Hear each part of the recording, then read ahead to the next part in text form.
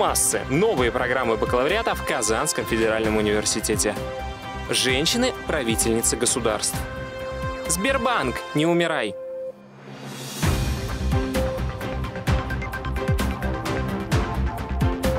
Всем привет! В эфире «Универ а в студии Александр Фирсов. Завершился второй этап приема заявок в конкурсе «Студенческий стартап». На него поступило более 1800 проектов. Глава Минобрнауки России Валерий Фальков заявил, что большинство заявок из Казанского федерального университета. Поучаствовать собрались аж 120 желающих. В ближайшее время начнется экспертиза проектов.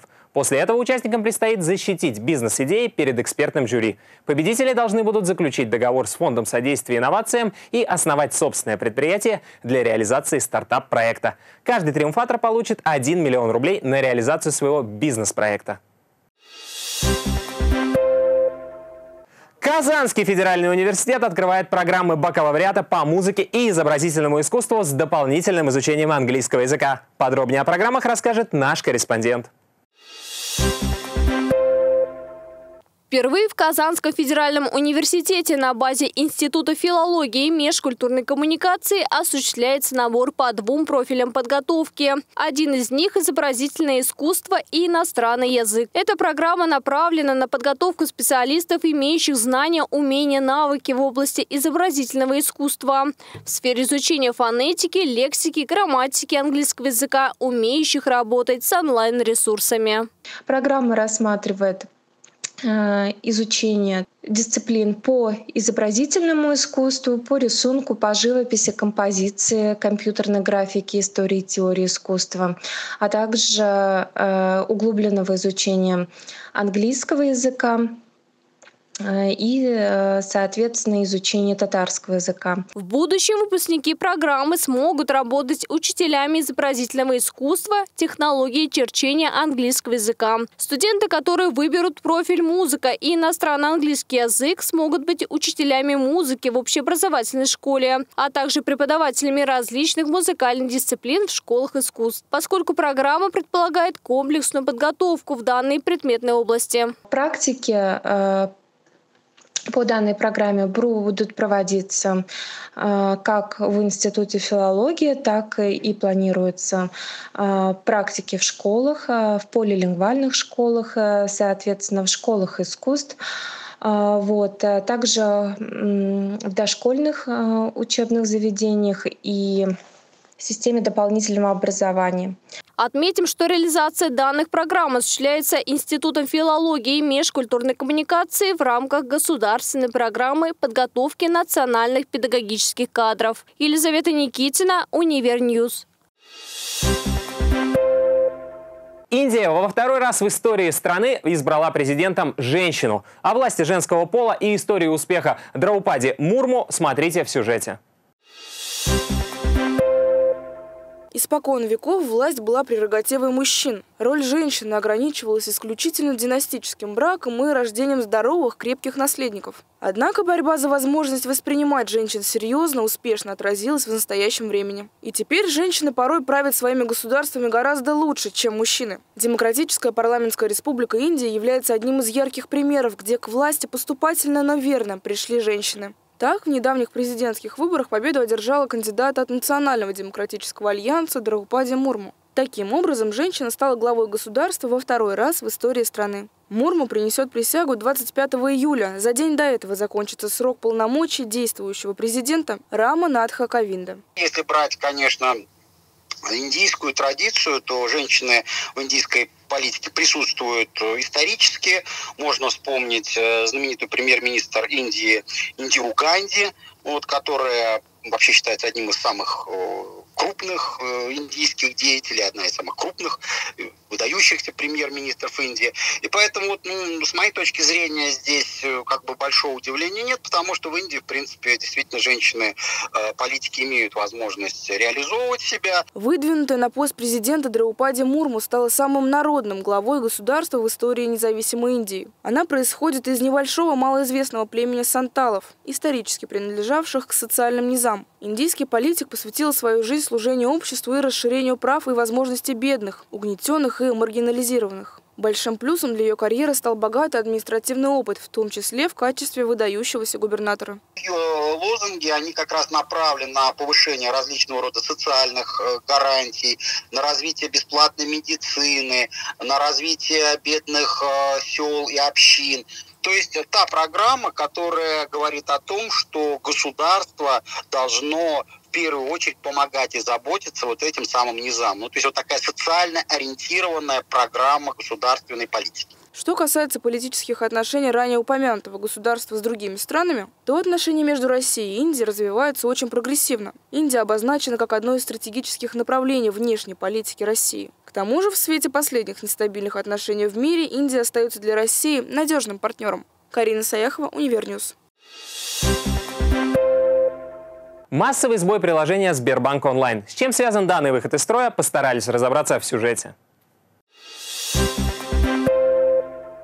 В Российской Федерации произошел массовый сбой в работе банковского приложения Сбербанк онлайн. Пользователи в течение нескольких часов жаловались на его недоступность. С чем связан данный казус, постарался проанализировать директор Института информационных технологий и интеллектуальных систем Казанского федерального университета Михаил Абрамский. Касательно того, что могло вызвать этот сбой, причин может быть очень много. А, в целом Сбер это большая IT-экосистема, и когда какая-то большая IT-экосистема входит в какой-то сложный промежуток, то, в принципе, совершается большая работа по доработке какого-то функционала. И в связи с этим вполне может быть, что можно ошибиться и вывести сервис из строя просто, ну, скажем так, из-за ошибки разработки. По словам эксперта, Сбербанк попадает под новый пакет санкций, вследствие чего, возможно, внутри Сбербанка проводится определенная работа по оптимизации, распределению и доработке функционала. Также велика вероятность, что IT-экосистема на такое жесткое изменение может отреагировать данным сбоем. Но возникает другой вопрос. Стоит ли пользователям беспокоиться за безопасность денежных средств? Беспокоиться за безопасность денежных средств в Сбере э, я бы не стал, потому что, э, собственно говоря, это речь про доступность только приложений для его управления. Э, и, собственно, Сбер тоже это отмечает, что, скажем, раз система не работает, то, собственно, нет угрозы для денежных средств. Волноваться за свои финансы гражданам точно не стоит, так как в банках есть очень комплексная система защиты информации касательно денег. И если бы было какое-либо вмешательство в систему, то пользовательские данные точно не могли пропасть. Амир Ахтямов, Univer News. Аномальная жара накрывает страны Западной Европы. Доберется ли такая погода до центральной России, узнаете в сюжете Алины Красильниковой. Страны Западной Европы переживают аномальную жару. В Великобритании, где впервые в истории объявили чрезвычайную ситуацию из-за погоды, зафиксировали самую высокую температуру с момента начала метеонаблюдений. Она составила 40 градусов. Аналогичная погода во Франции, в Швейцарии, Австрии, Италии и Испании. В Испании аномальные температуры провоцируют мощные лесные пожары. Местами температура воздуха достигла 43 градуса. В стране как минимум 510 человек погибло от перегрева. Дело в том, что над европейским регионом установилась обширная область высокого давления, которая, в общем-то, разгоняет облака и под действием вот этой инсоляции и активного солнца в настоящее время, в летнее время, действительно э, температуры близки к рекордным. По словам эксперта, погода в Центральной России изменится из-за приближения от торга высокого давления с запада. На Республике Татарстан это отразится особым образом, поскольку она находится восточнее. Кроме того, уже сейчас на казанцев начало оказывать влияние поле повышенного давления. Как следствие, в ближайшие два дня столбики термометра днем приблизятся к 30-градусной отметке. В ближайшие дни, несмотря на то, что мы находимся в передней части указанного антициклона, и у нас северные потоки, то есть воздух движется с севера на юг, но тем не менее он приносит к нам, э, мало того, что сам по себе воздух теплый, кроме того, э, преобладание малооблачной или безоблачной погоды э, дает нам действительно такие высокие температуры. В то же время отсутствие облака, облаков в дневное время даст хороший суточный ход, то есть температуры воздуха будут понижаться до значений 17-18 градусов.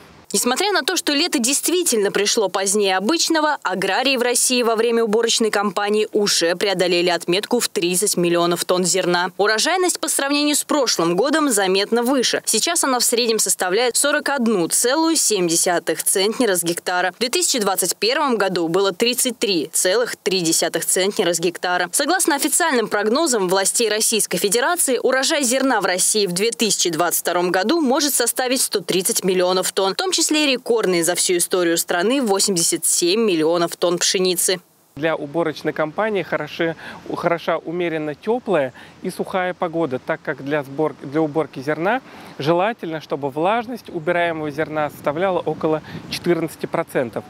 А нарушить такой режим может э, там, следующий пришедший э, циклон. В таком случае аграрии выбирают момент самый удобный для урожая.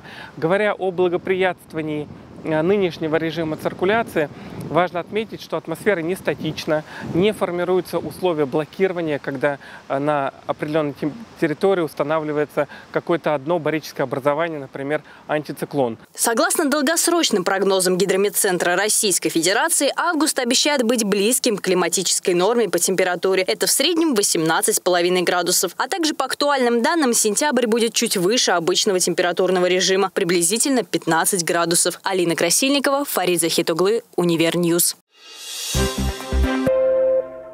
Миноборнауки Российской Федерации определила финалистов седьмого всероссийского конкурса научно-исследовательских работ студентов и аспирантов.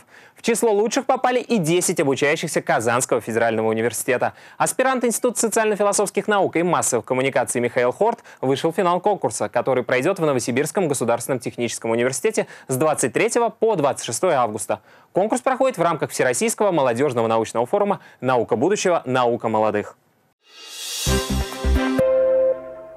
На этом все. В студии был Александр Фирсов. Сюжеты из выпуска ты сможешь найти в наших социальных сетях, а также на сайте телеканала. До новых встреч!